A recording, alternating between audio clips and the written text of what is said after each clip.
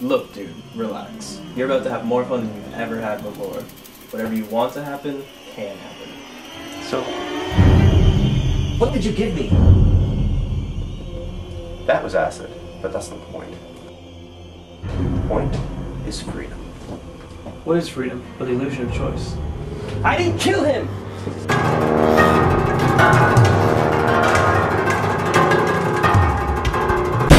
In fact, it's more of a delusion.